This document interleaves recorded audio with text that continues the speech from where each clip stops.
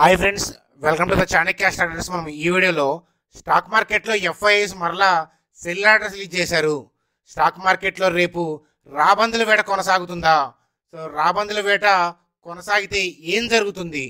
So stock market ఉన్నపడంగా కుప్పకూలుతుందా?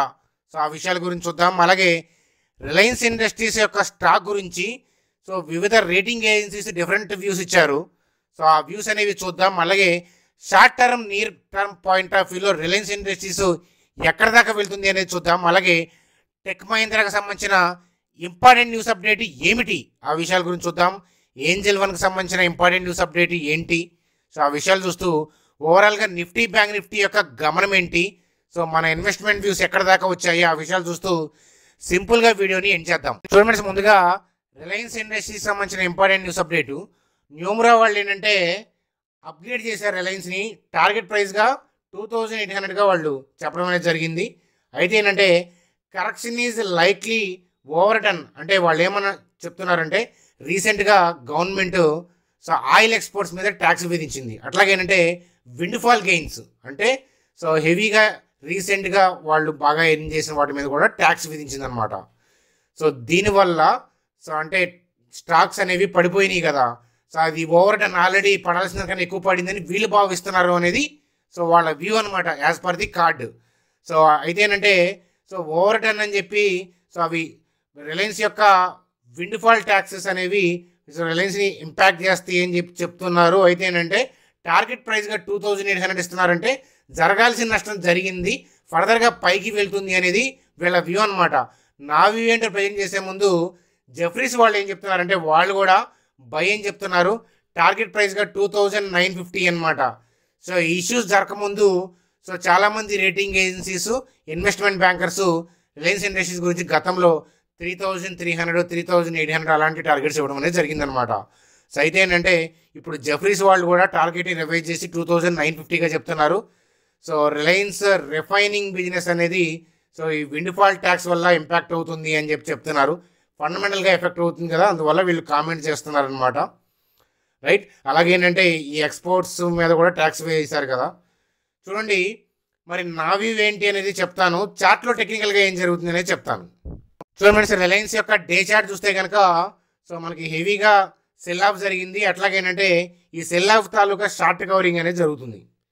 So ఫర్దర్గా కూడా సెల్లింగ్కి రెడీగా ఉంది అనేది క్యాండిల్ అర్థం అవుతుంది సో అయితే వీక్లీ చార్ట్ చూద్దాం. వీక్లీ చార్ట్ చూస్తే కనుక two thousand three twenty six అలాగే two thousand one seventy nine so ఇక్కడ బయాడర్స్ ఉన్నాయి కాబట్టి సో ఈ లెవెల్ని హిట్ చేసినప్పుడు we will see bounce so ఈ లెవెల్ని హిట్ చేసే విధానాన్ని బట్టి సో మనం చెప్పచ్చు నిలబడుతుందా లేదా అనేది. కానీ ఓవరాల్గా వీక్లీ కూడా మేజర్ ట్రెండ్ ఏమీ కాదు compare with monthly so monthly chart ఏం చెప్తుంది అని అంటే so it may come eighteen thousand twenty sixteen thousand twenty seven so ఇక్కడ దాకా వస్తుంది అని హండ్రెడ్ పర్సెంటేజ్ అయితే నొక్కి చెప్పలేము. కాకపోతే ఏంటంటే high probability is there that so we make at chance to buy the stock at this level అలాగే ఏంటంటే సో ఒకవేళ ఇన్ కేస్ ఈ లెవెల్లో ఈ లెవెల్లో అయితే బౌన్స్ ఖచ్చితంగా వస్తుంది.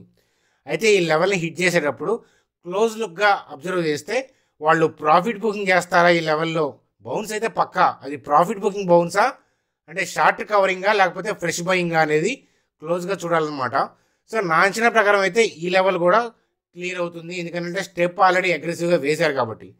కానీ కన్ఫర్మేషన్ అనేది ఈ లెవెల్లో వ్యాలిడేషన్లోనే తెలుస్తుంది అనమాట సో చూద్దాం.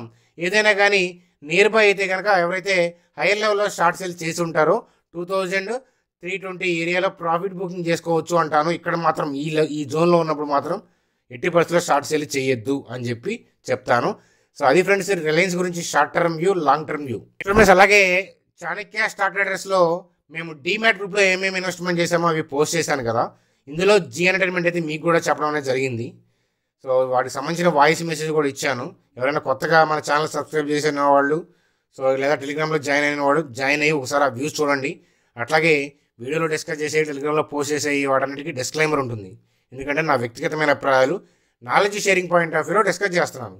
అందువల్ల మీరు ఫైనాన్షియల్ డెసిషన్స్ తీసుకునే ముందు మీ ఫైనాన్షియల్ అడ్వైజర్ని కలిసి కానీ లేదా మీరు రీసెర్చ్ కానీ చేసి డెసిషన్స్ తీసుకోమని చెప్పి చెప్తాను. ఫ్రెండ్స్ అలాగే నా ఇన్వెస్ట్మెంట్ వ్యూస్ మీకు నచ్చితే కనుక సో మీరు చూడాలి కంప్లీట్గా మీ క్యాపిటల్ తగ్గట్టుగా అంటే చూడండి ఇక్కడ జెరోదా ఉంది.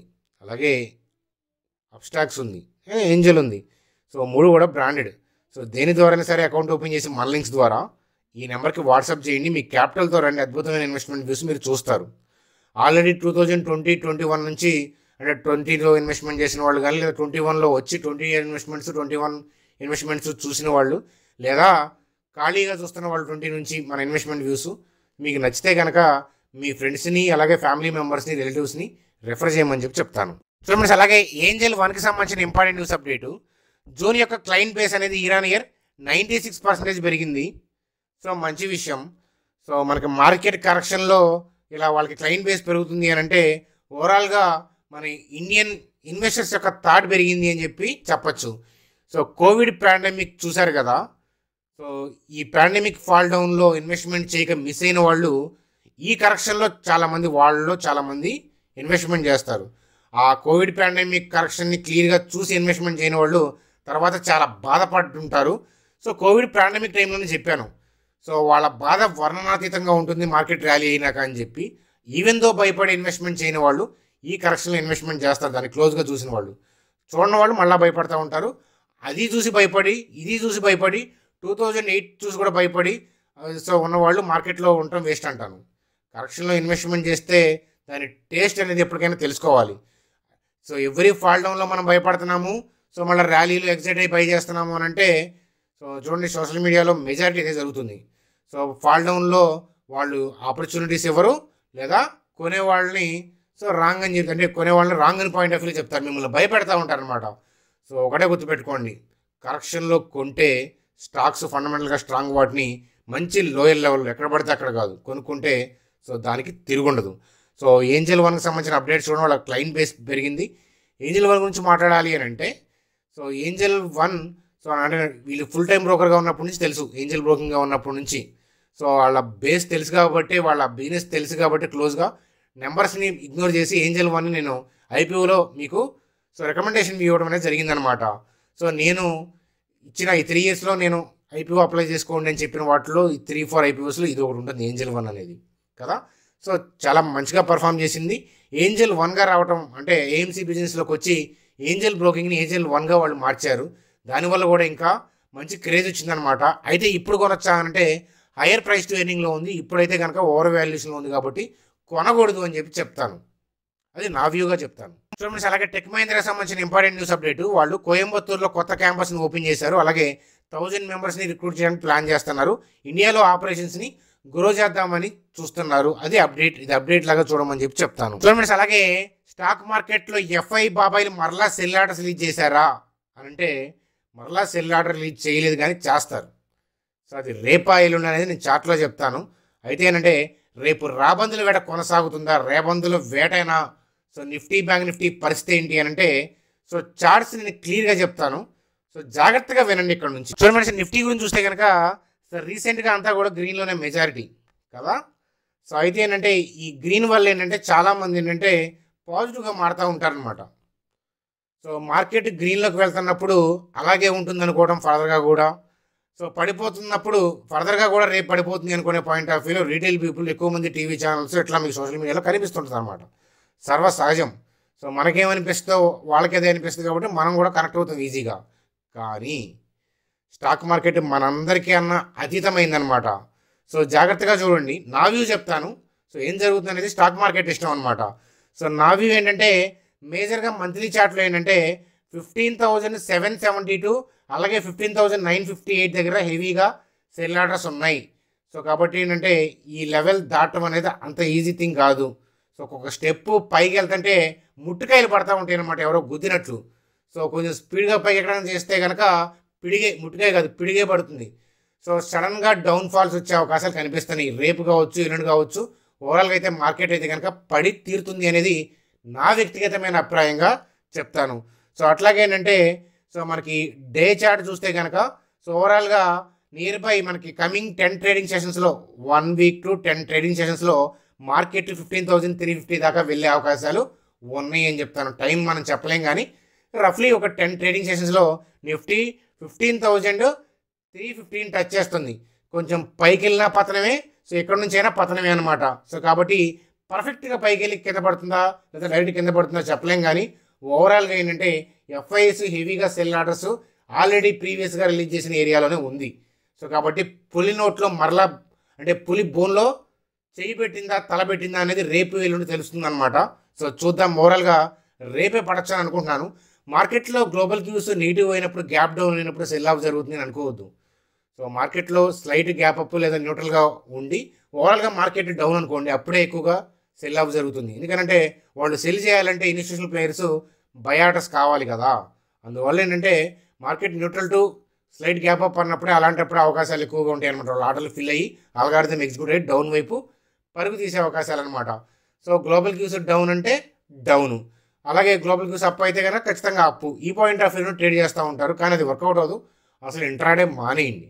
సో అది మానేస్తే సో వెల్త్ క్రియేట్ అవుతుంది. హెల్త్ బాగుంటుంది అనమాట లేకపోతే రెండు ఖరాబ్ అవుతాయి అందులో తిరుగులేదు. అర్థమవుతుందా? అది. సో నా వ్యూ అనేది మిమ్మల్ని ప్రొటెక్ట్ చేస్తుంది అని చెప్పి భావిస్తున్నాను.